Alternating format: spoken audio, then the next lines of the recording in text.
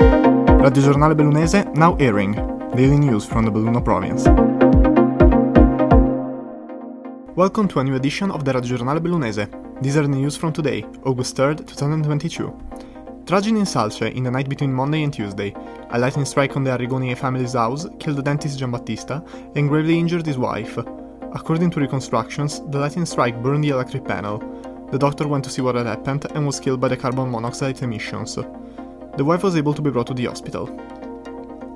Today will be held the autopsy of Nicolò Feltrin, the two-year-old child who died on the 28th of July in Pieve di Cadore's hospital after a sudden illness. The child is thought to have eaten something he found on the ground while playing in the park, though the possibility that he ate something toxic he found at home has not yet, has not yet been ruled out. The autopsy will allow to understand what caused the poisoning. Climbers stuck on the Spigolo dell'Agner. The two were rescued after a night spent on the mountain's face during a storm.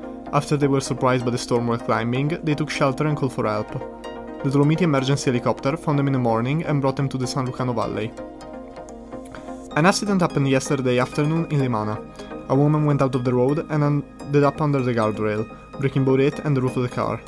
Fortunately, the woman sustained no injuries.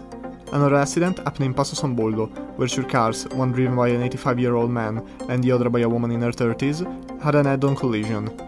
The man needed to be brought to the hospital, though he was not in critical condition. Finally, sports, football. This Monday began Dolomiti Bellunesi's retreat in San Vito di Cadore. With his new coach Lucio Brando, the team gathered after training in Libano, in Libano di Sedico. An injury sustained by the goalie Julius Virvilas is being observed.